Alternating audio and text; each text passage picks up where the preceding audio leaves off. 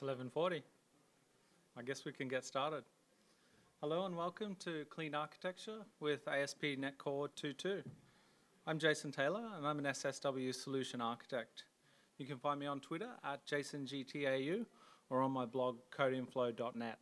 I try to blog once a week so the content's nice and fresh. I last blogged at NDC Sydney 2018 in September. So I'm not quite reaching that, but I'm going to improve.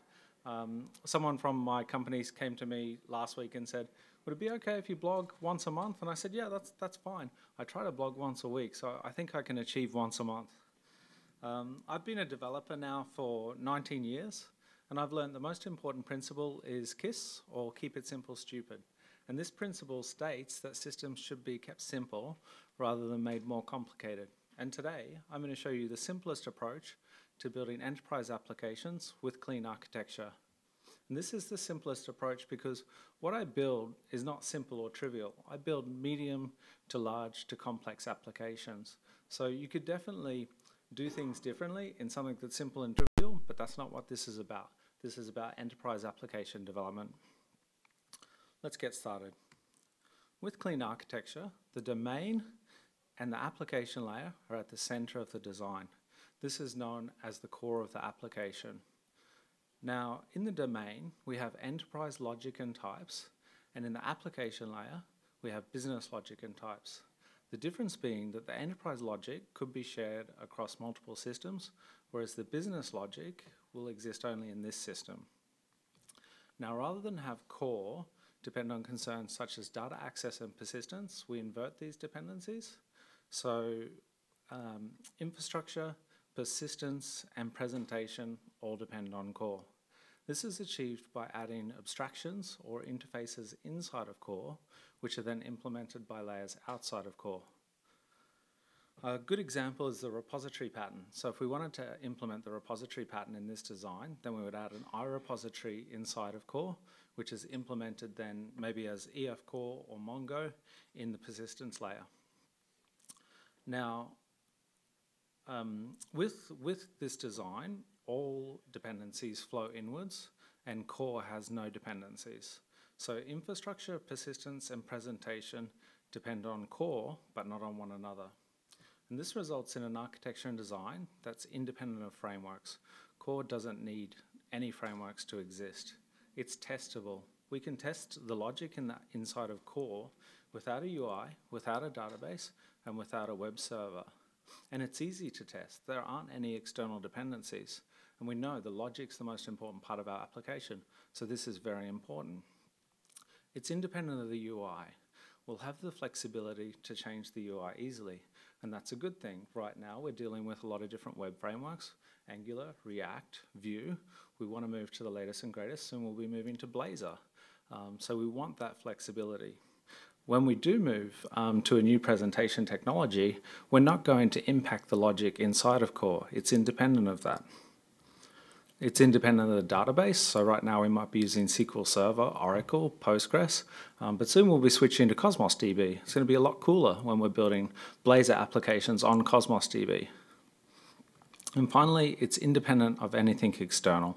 Core simply doesn't know anything about the outside world. Now, with this design, you can see that there's only three layers. Now, you might need more or you might need less. It just depends on the complexity of your application.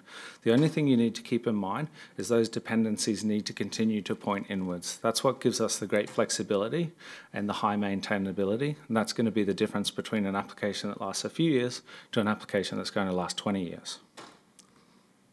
So this is my example, Northwind Traders. Show of hands, who's heard of Northwind Traders? Pretty much everyone. Northwind Traders is cool, right? No one. No one thinks Northwind Traders is cool. I might change your mind.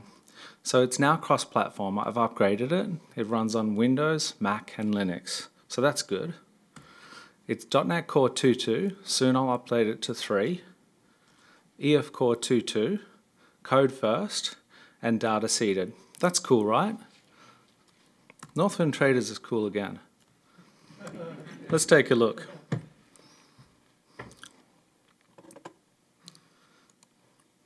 So this is my Northwind Traders solution. You can find it on GitHub. Um, I'm going to share a link at the end, so you don't need to take note of this.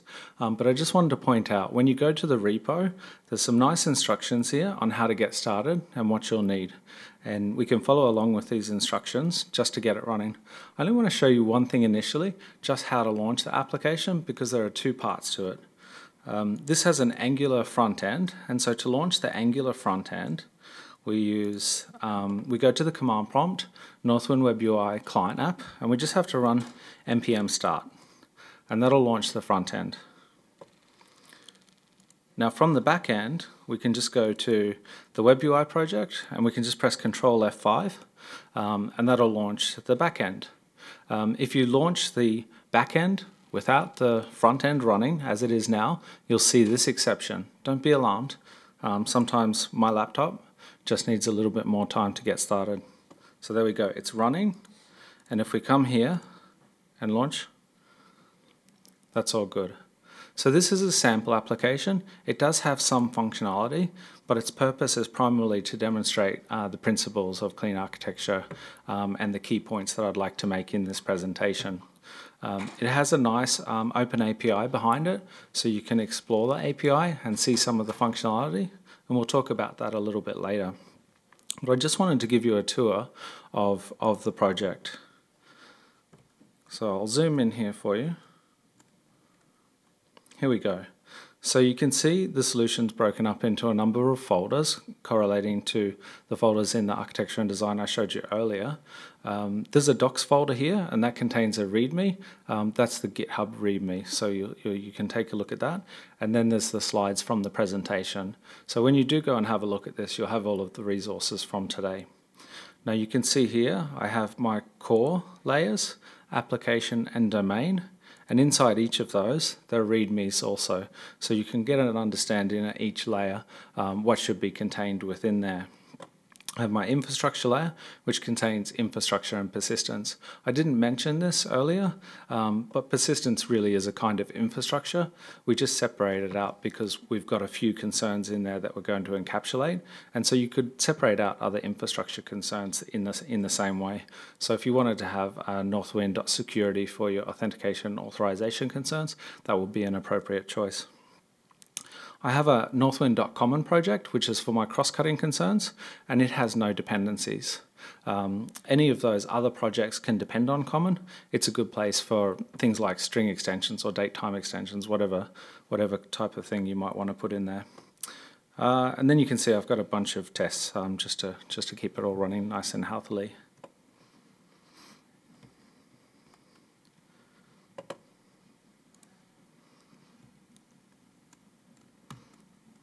Okay. Skip through that. So key points for this first section.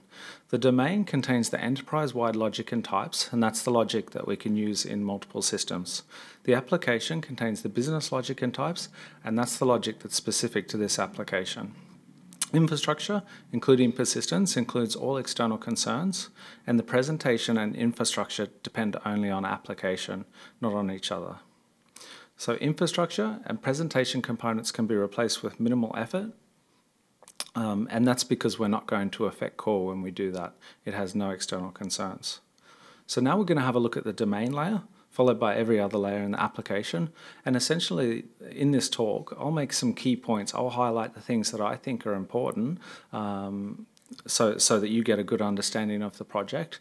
Uh, but you'll also want to dive in and take a look for yourself because there's a lot more going on um, than I can include in, in the time allowed in this talk.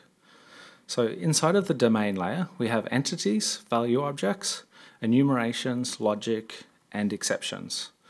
Let's take a look.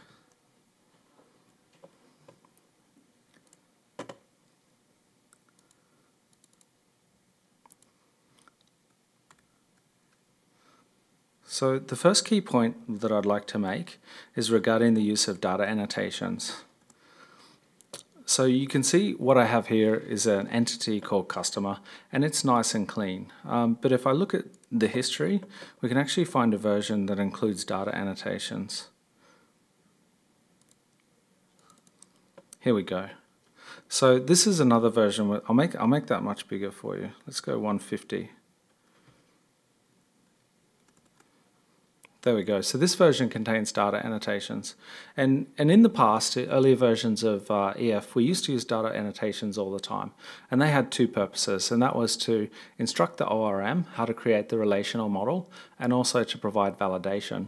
But in newer versions of EF Core, um, it doesn't do the validation anymore. You can use data annotations for validation. It's just not something that EF Core uses it for.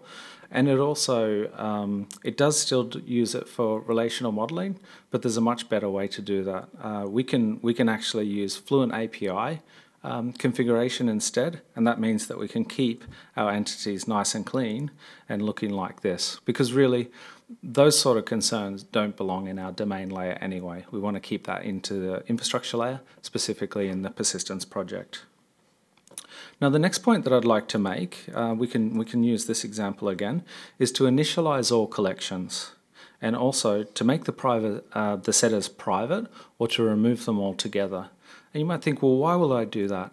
And it, it's just because it makes life easier. If we do that, we don't need to think when we're accessing a new customer object. We don't need to say, hmm, I wonder if the orders collection has been initialized. I'll write an if statement. If customers.orders equals null, then initialize the orders collection. We don't have to do that anymore. Um, and, and we gain control of the object. It's, it's about uh, helping your developers in um, ensuring that they fall into the pit of success. We make it easy for them to do the right thing and hard for them to do the wrong thing. So the next one that I want to talk about is when you're designing your system, let me just see. I want you to think about this, this entity. Um, we, we often use primitive types where, where we shouldn't be using primitive types. So here we have an AD account and its type is string, and that's fine. AD accounts are strings, but not all strings are valid AD accounts. Um, there's certain rules in the way that AD accounts can be created, the, the value, and there's certain ways in which we'll use the AD account. For example, sometimes we'll want just the domain name, and sometimes we'll want just the username, and sometimes we'll want it all together in some kind of display format. Now that's logic. There's validation and logic associated with using this AD account. Now if we don't find somewhere to encapsulate this, that's going to be problematic. That in a large system, that logic is going to appear time and time again because new developers, experienced developers may not know about it. So we need a good way to encapsulate that logic in a complex type.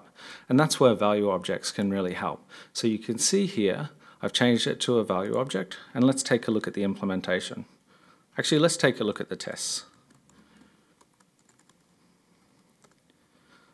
Okay, so I have this AD account, and um, it should have the correct domain and name. So I can construct it using this factory method, and all I have to do is pass in the AD account string, and then I'll have access to the domain and the name. So that's nice and easy. I won't have to write logic around that uh, I've got a method toString which I've overridden and it returns the correct format. So we can see that um, if I construct a new object, uh, it's going to return the format which will essentially be SSW slash Jason, the original format. I have an implicit conversion operator, so I can take an AD account type and implicitly convert it to a string, which is great for whatever purposes I need um, in the string format. Uh, logging is one that comes to mind. Uh, I have an explicit conversion operator, so I can directly cast from a string to an AD account. And I control the creation of the AD object. If the AD account is not valid, the AD account string, it doesn't contain a slash, then that's going to fail. And, and it brings me to my next point, which is to use custom domain exceptions.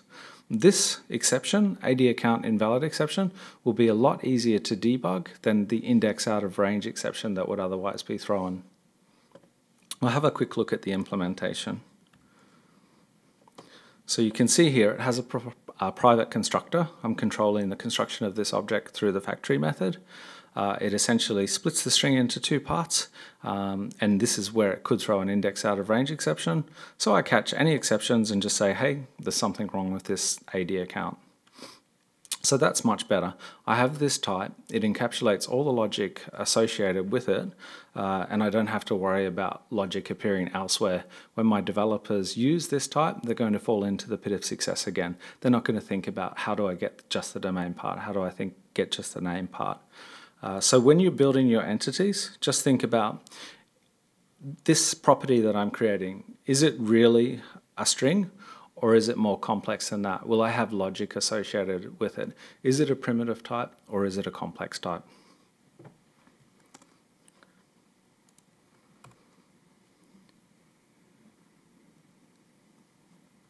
Okay, so key points for the domain layer. Avoid using data annotations. There are better ways. They clutter up our domain, and we'll see that soon, the better approach. Use value objects where appropriate. I mentioned before, just think about it. Is it really a primitive type, or is it more complex? Initialize all collections and privates and use private setters. Help your developers to fall into the pit of success and create custom domain exceptions. They're much easier to debug than an index out of range exception. So now we're going to look at the application layer. The application layer contains interfaces, models, view models and DTOs, logic, commands and queries, we'll talk about that soon, and validators, and again, custom exceptions. So CQRS, we all know by now CQRS stands for Command Query Responsibility Segregation, and with CQRS we separate our reads from our writes. And the benefits include uh, maximizing performance and scalability, and that's awesome. But for me, the most important benefit is simplicity. I find that when I use CQRS, everything becomes easier. It's easy to add new features because I can just add a new query or command, and it's easy to maintain. Our changes should be nicely isolated to a single query or command, and so we're less likely to introduce bugs. Now, if you like CQRS, then you'll love using CQRS with Mediator. They're like the perfect couple. So with Mediator, we define our commands and queries as requests. So the application layer just becomes a series of requests response objects. And with that, we get the fantastic ability to introduce additional behavior. So we can add functionality before and or after each request. So behaviors such as um, cross-cutting concerns such as logging, uh, caching, validation, um, and security become easier because we're using Mediator. We get this really nice pipeline, which is powerful. So let's take a look.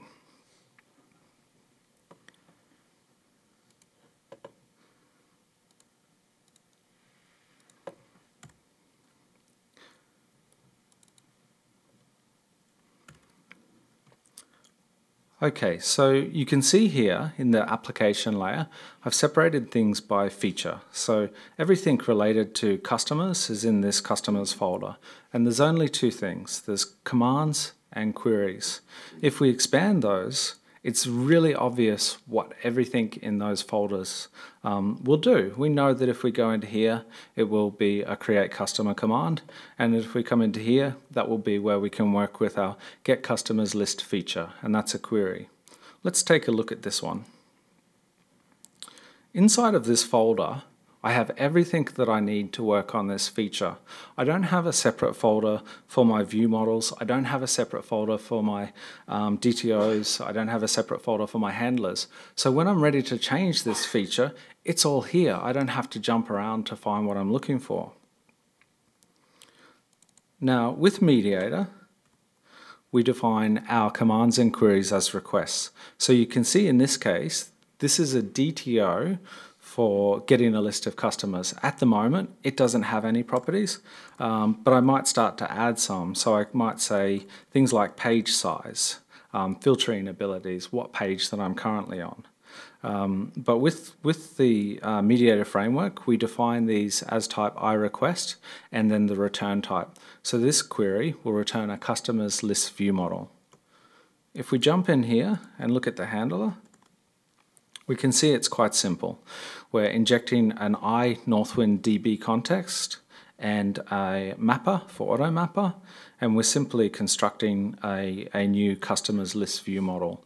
And this is, this is a very nice approach because what's contained within here are only the things needed to return this query. We don't have a large service that's responsible for many things, which becomes hard to navigate. It's a single file with a single purpose.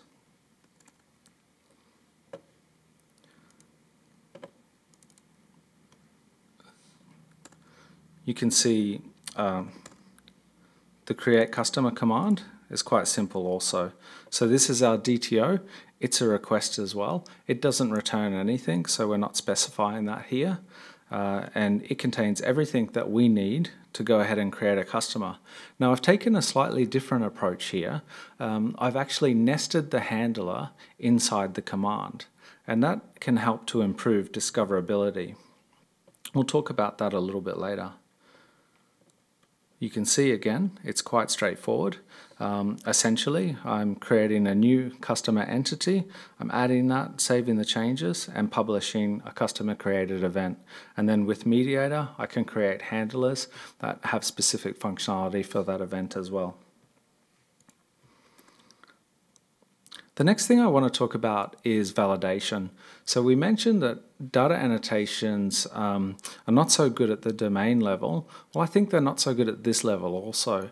Data annotations are okay. We can use them for simple validation scenarios, but not so much for complex validation scenarios. Um, for that, I prefer to use fluent validation. And let me, let me show you an example. Oops. So here I have an update customer command and it just has the DTO to update a customer. And then I have an update customer command validator. So with Fluent validation, I'm able to define the validation rules using a Fluent syntax in a separate file. And these rules are obviously simple. They're, they're, they're no more complicated than what you can support with data annotations. But down here, I have a couple of example, more complex rules. So you can see here I have a rule for the postal code. When the country is equal to Australia, then the postcode should match this regular expression. Essentially, it should be four digits, and if not, it will return this error. Australian postcodes have four digits. So that's not much more complicated, but it is a nice syntax. Um, we can do that with data annotations. But we also have this one. We have a rule for the phone. It must have a Queensland landline when the country is equal to Australia and the postcode starts with 4. So in this case, we're actually looking at um, cross-field validation. And we can do a lot with, with Fluent validation in this way. Really, we take full control of the validation scenarios, and so the implementation is up to us. Yes, question?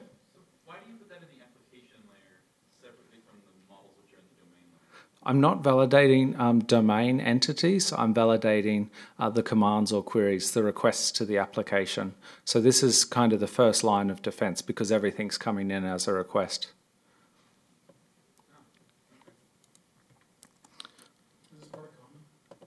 Sorry, what was that? Uh, no, no, it's in it's in the application layer. Um, I like to have the things that change together together. And so the, the command and the command validator sit together so that when I need to update that feature, it's easy to access those things. I prefer not to have to jump around. Okay, so one of the other things about using Mediator I mentioned is we get that pipeline. And so to run these validators, I have what's called a pipeline behavior. And if we look at this, this is a request validation behavior. So remember, everything that's coming into this application is a request. And I have a pipeline behavior which handles these requests. So the request might be of type create customer command or get customer detail query. If there are validators associated with those commands or queries, this little process here will run them and if there are exceptions, it will return a validation exception. So that's a custom exception that we're throwing from the application layer. So that means the request validation is automatic. Uh, the developers don't need to think about that. If they associate a, a, validator with a request, then it will be validated. And that's great. That's part of the mediator's uh, pipeline. So here we have another simple behavior. This is an iRequest preprocessor, so it happens before the request runs in Mediator, and it's quite simple. Essentially, we get a request, let's say create customer command. I take the name of that request, and I just log it using .NET Core's built-in logging um, abstraction. So I just say Northwind request, create customer command, and then I take the actual request DTO, everything that's in the create customer command, and I serialize that. So that's going to be available in the log. And then finally, I have another one, which is just a simple uh, request performance behavior. And so this one is a pipeline behavior like the validator. So with this one, I start a timer, I complete the, complete the request, get the response, and stop the timer. And if the request happens to take greater than 500 milliseconds, um, then I log a warning to the database in much the same way as I was logging the information. So um, that's kind of that's kind of great. Any request that comes into the system with a few lines of code, I can log that request. I can, um, I can uh, when I add the user details, I'll be able to filter it by user, set the date range, and I can see kind of what they were doing or where they had the problem and what kind of exceptions were associated with that. And because the request itself has been serialized, I can take that serialized request and I can add that to a test that's probably going to fail because, well, the customer's complaining, and then I can fix it and the test will pass. So that's pretty cool. All right, and the other thing that I wanted to talk about was abstractions. So in this in this layer, we have a couple of uh, abstractions. So I have the iNorthwind DB context, um, which is my interface instead of using the DB context directly.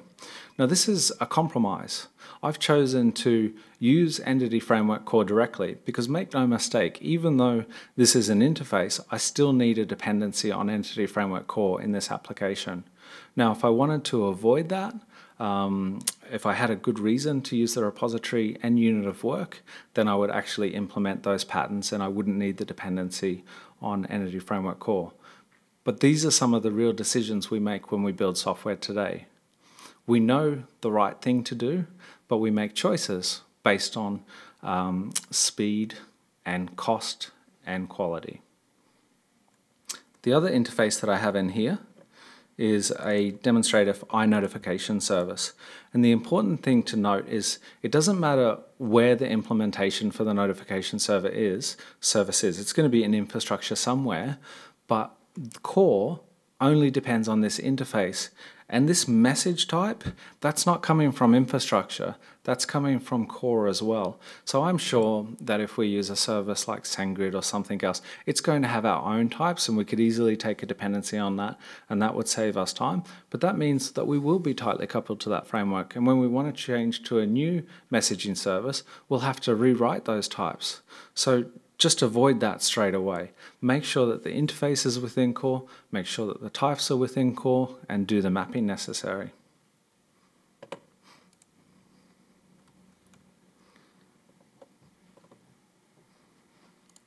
Okay, key points. Using CQRS and Mediator simplifies your overall design. Fluent validation is useful for all validation scenarios. Uh, Mediator simplifies cross-cutting concerns. We get that really great pipeline so we can implement all sorts of things there. And it's independent of infrastructure and data access concerns. All right, now we'll look at the persistence layer. So inside of the persistent layer, we have our DB context because this solution is using Entity Framework Core. We have migrations, configurations, seeding, abstractions. So here's the big question, used to be a bigger question, should we implement these patterns? And I'm going to answer for you because uh, every time I ask the question, most people say no now. There'll be one or two people who'll say yes. But the fact of the matter is, with architecture and design, it always depends. Now, in the general case, it's not always the best choice because EF Core insulates your code from database changes. EF Core is an abstraction and we choose a database provider to work with that abstraction. We can choose SQL Server, we can choose Postgres, now we can choose Cosmos DB. DB context acts as a unit of work. It's implementing that pattern and the DB set acts as a repository. So a common reason for implementing these patterns with earlier versions of EF and with other ORMs is for unit testing. But now EF Core has features for unit testing without repositories in the way of the EF Core in-memory provider. So that's what I think, but what do the experts think? So Jimmy Bogard, who was at the conference this week, uh, he's the chief architect at Headspring and the creator of AutoMapper and Mediator, which we're using in this solution. He says that I'm over repositories and definitely over abstracting your data layer. So I'd say I'd say he's against implementing repositories and unit of work in, in, in most scenarios. Then we have Steve Smith, Microsoft MVP and regional director for uh, almost 10 years. And he says, no, you don't need a repository, but there are many benefits and you should consider it. Now, I think Steve is being very diplomatic here. I think that if you came to him and showed him your solution and you didn't have a repository, he'd show you why you need it. So very diplomatic. He says you don't need it, but I think he's kind of on the side of implementing a repository. And next we have uh, Jon Smith, the author of Entity Framework Core in Action, and he says no, the unit of uh, the repository slash unit of work pattern isn't useful with Entity Framework Core.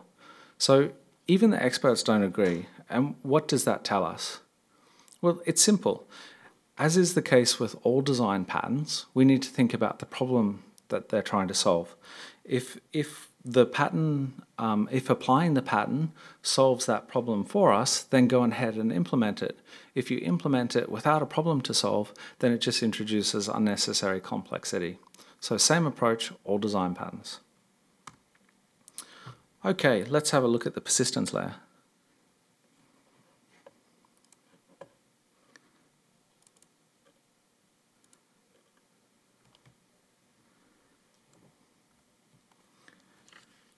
Okay, so the first point that I'd like to make is the persistence layer is independent of the database, uh, insofar as there is a provider that we can change to with Entity Framework Core.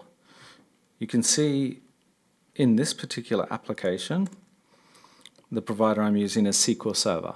So I could change that to Postgres. So in that way, it's independent of the database. I have changed this solution to Postgres in the past um, and, and run it on uh, Linux, and it works quite well. We talked about not using data annotations in the domain layer. So how do we configure the ORM so that, um, so that it knows how to map from the object model to the relational model? We use Fluent API configurations. So in our Fluent API configuration for customer, we define everything that we need. And it's outside of the domain layer. So nice and clean in a separate file. We also can automatically apply these configurations in our DB context. We just need to add this line. So model configurations from assembly, and we just say which which assembly the configurations are contained within. So this is a, a new feature. I think it came in in in 2.2. Um, before that, we had to either do it manually or write our own um, code to, to apply it automatically. Now, the most important thing with working with any framework which is conventions based is to understand the conventions um, because that's going to make us more productive. So you can see here I'm configuring the employee entity but right off the bat any of you who know entity framework well will know that I don't need this line. By convention it will recognize that an employee entity with an employee ID or an ID um, just by itself will be flagged as entity by entity framework as being a key. So when you're working with a conventions-based framework, it's important to first understand the conventions because that's going to make it easier for you to, to work with that system. You'll be more productive and your code will be simpler because of it. So I can just remove anything like that.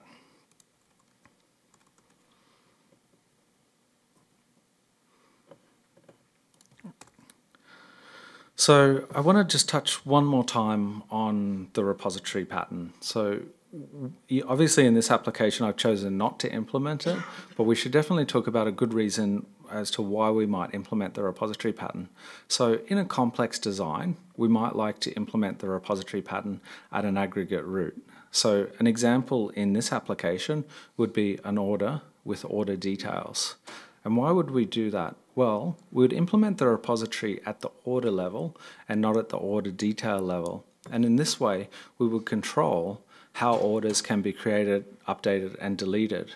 We'll make it easy to encapsulate that logic so that our developers can't go directly to the order detail where we haven't written the correct logic around adding, updating, and deleting order details directly. So remember, with the repository, with design patterns, First, figure out what the problem is that you're trying to solve and then apply the appropriate pattern. Oops.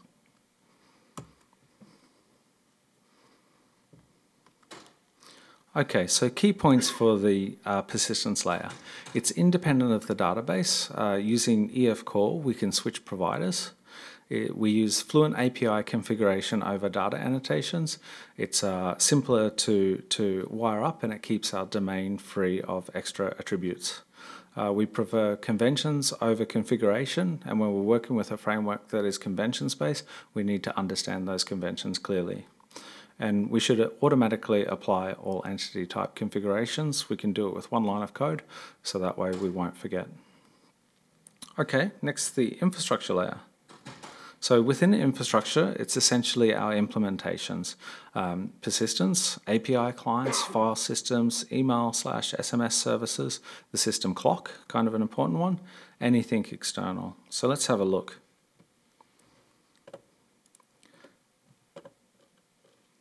In this demonstration, I've kept the infrastructure layer quite simple. Um, I've got my machine date time, which basically has a couple of properties. It just has now and the current year. Um, any anyone think why we might want to um, actually um, implement machine date time uh, and only have core depend on the interface I date time rather than using date time directly? Sorry, what's that? Yeah, possibly. Yeah. Testing, yep, testing. Testing is the, the main reason that comes to mind for me. So if we have some logic that we need to test, um, and perhaps that logic is only um, can be tested on a Tuesday, well, if we're using datetime.now directly, well, we can only test that on a Tuesday. Maybe we can write some logic in our test to check that it's a Tuesday and, and only run. Um, but with an iDateTime interface, we can we can mock that out and make sure that it's a Tuesday. Another nice advantage that, that, that I came across is that I was able to switch this out for an implementation where the end user was able to supply the date time for the system. And this was used for testers so they could actually configure the date time to test things that were time and date based. Um, so they could advance the system clock, bring it back to the current date time, bring it back in time. That was quite useful too. So we have a, um, machine date time implementation there. And then I have my ultra fast notification service responsible for sending notifications. So we saw the iNotification service implementation in core, and this is the, uh, sorry, the interface in core, and this is my implementation. It's super fast, but the messages don't go anywhere. Okay, so no, a point, an important point to make about the infrastructure layer um, is that no layers should depend on infrastructure. Infrastructure depends on core, but we shouldn't have, for example, presentation depending on infrastructure. We might have something in presentation that wants to send a message, for example. But when we do that, we're actually forced to write logic in presentation, logic to orchestrate the communications between presentation and infrastructure in order to send a message. Now that's logic that we can't reuse. We want to avoid that. We want to push that logic into core so that when we change out that presentation layer, we don't have to move that logic as well. So it's an important point. All of the logic that we have for this application should be carefully encapsulated within core.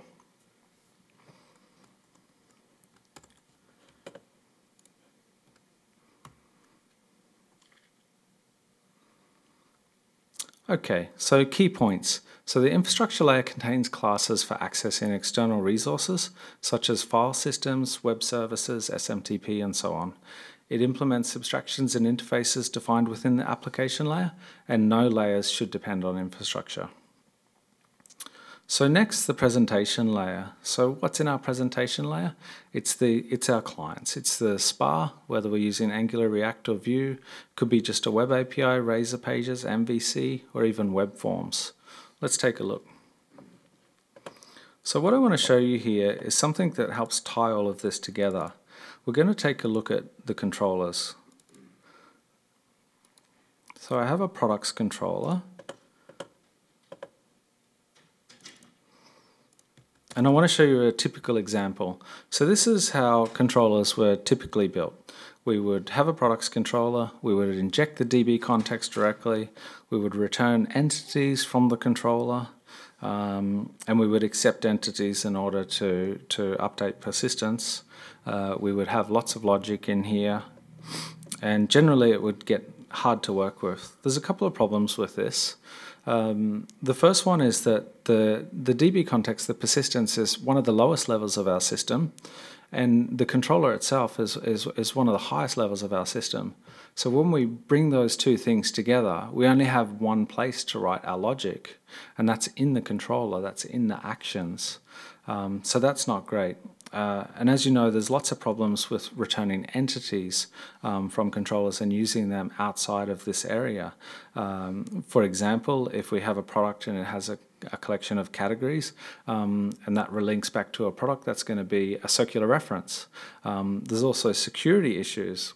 Um, let's say we're updating a customer and we're not supposed to update the customer's email address, but then someone overposts and supplies the email address anyway, even though it wasn't on the form. Um, well, now they've changed the email address to their email address. They can reset the customer's password, um, take over the account. Um, so there's lots of issues um, involved in doing that. So we can control that much better.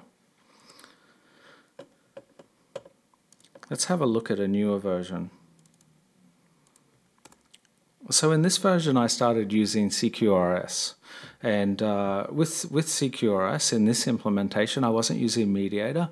I just added all of the interfaces to the commands and queries that I needed. Now this was a lot better. I have a lot of kind of boilerplate here in order to get dependency injection to wire all that up for me. But when we look at the actions themselves, they're now really simple. They're just one or two lines of code um, no longer working with the DB context, no longer encapsulating any logic. So even that is a, is a, is a great step in the right direction. The logic is now in its um, respective command or query, so it's quite simple.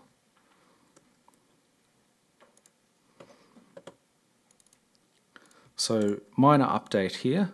Um, we started using from services. So this is a nice little attribute with the .NET Core uh, dependency injection, we're basically saying to dependency injection to inject this query for us. So we don't have to uh, add all of those commands and queries. So it'll just inject it and we can go query.execute, inject the command, we can execute that.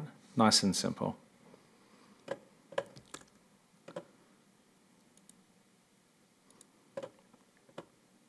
Okay, and this is where we introduce MediatR. So with MediatR, all we need to do is inject iMediator and it knows where to find the, the handlers that are associated with a command or query. So then we can just say mediator.send this get all products query or mediator.send create product command. So it's nice and easy, but now of course we have the power of the mediator pipeline, so we can do a lot more with the requests and the responses that are moving through our application.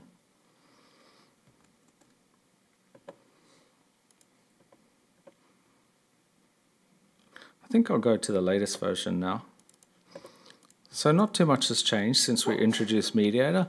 I've, um, I have a base controller where we're using pro property injection to get MediatR, so I don't need to um, add anything to the constructor. I can just inherit from this base controller. Um, but you can see it is really simple. This controller doesn't contain any logic. Um, it's, it's basically become infrastructure. It just has a, a, a single responsibility for products to turn a product's request into a product's response. That's it. All of the logic is elsewhere. If we have to switch away from um, Web API to something like Nancy, it's not really going to be that big a deal.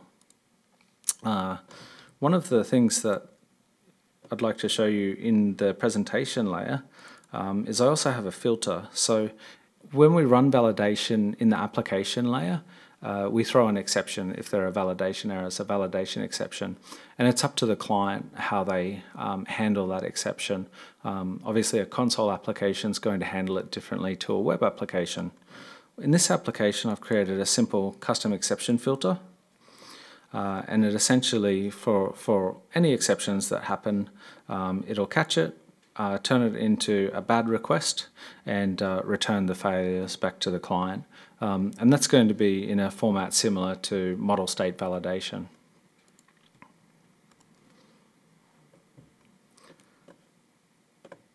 So one point that I want to make um, here is that we should work hard to return well-defined view models. Um, and what do I mean by that? Well, we could return a product with the product details um, in order to edit a product. But we could actually return much more information than that. We don't want our client to have to make additional requests. So, for example, when we're turning a product view model, um, we can also return things like uh, edit enabled or delete enabled so the client's not forced to make authorization checks to get the additional information that it needs. Um, we can encapsulate within the view model everything that the view needs so that it's simple for new clients to use that view model and it's also simple for us to test. Um, we can write a test to see that the edit button is disabled um, by testing the view model directly. And that's something that's inside of core. And as we know, core has no external dependencies, so it's very easy to write tests for core. So by encapsulating those things in the view model, we do get great flexibility in, um, in changing out our presentation layer in the future. The last uh, point that I want to make in this in this presentation layer uh, is that we should use Open API with our web APIs. Um, so you can see here I've got an Open API um, UI, so this is the Swagger UI, and for my developers, they can come and explore this, this API, they can learn about the API um, and understand how it works. So I've got a uh, customers, get all customers here, I can click try it out, execute that, and um, I can I can kind of see the response type and that sort of thing. Um, but I can also generate code from that um, because I have the API specification set up. I've actually used it to generate an Angular client for this application. So if I dive into the Angular application, I have this Northwind Traders API written in TypeScript. So this, this, this is quite big. I didn't have to write any of this, um, and I can use this directly. So by implementing OpenAPI on, on the web API, we're actually making it easier for our developers to work with the system, and we're making it easier to, to build front-end applications. Uh, in a microservices architecture, I can also generate um, C-sharp clients, so I can make it easy um, to communicate with that, with that microservice if that's my preferred method.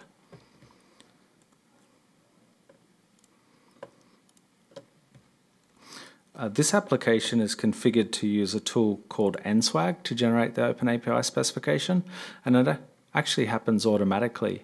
Um, when I build the web UI, it will build a new uh, specification and place it here in wwwroot um, specification.json. And it will also generate the Angular client that you saw.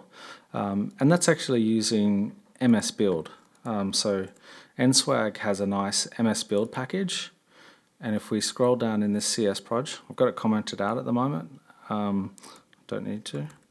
Um, it actually just runs nswag after build um, and we'll keep that up to date so I don't have to worry about it anymore. Um, usually with these tools you have two choices. You can do it when that web application is running and automatically, or you can do it offline, kind of how I'm doing it now. I find it preferable to do it offline um, because then I don't run into any kind of issues relating to um, authentication or forgetting to start the web front end when I'm trying to generate an Angular client and that sort of thing.